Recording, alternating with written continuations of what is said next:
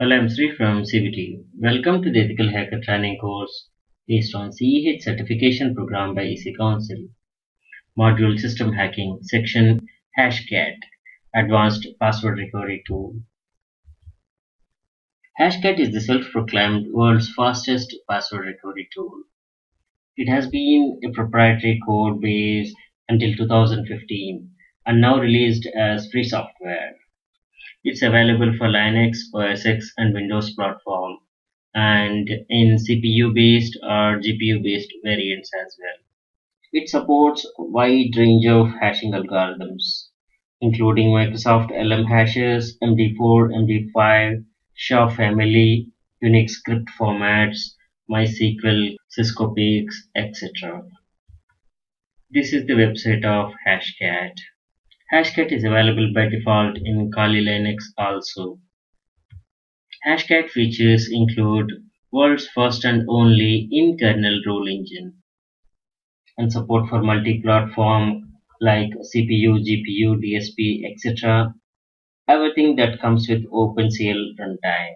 Multi-hash cracking simultaneously, supports multi-device types, supports distributed cracking networks, supports interactive pass and resume and also supports sessions and restore. It supports reading passwords from file and stdin that is standard input. Supports hex salt and hex character set.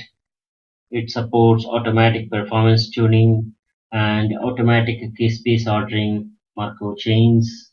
And it has built-in benchmarking system, integrated thermal watchdog, and 200 plus hash types implemented with optimum performance.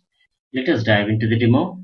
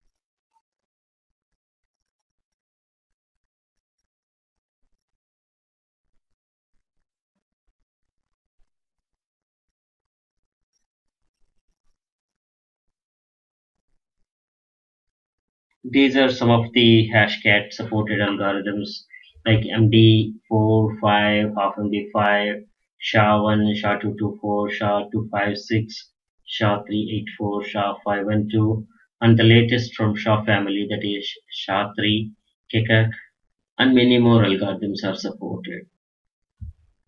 Hashcat offers multiple attack modes for obtaining effective and complex coverage over a hash's key space. The modes are brute force attack, dictionary attack, hybrid attack, permutation attack. We're going to have a demo on some of these types in the coming sessions. Some screenshots. Hashcat supports OpenCL that is computer language. Supported OpenCL runtimes are AMD, Apple, Intel, etc. Supported OpenCL device types are GPU, CPU, etc. Thanks for watching.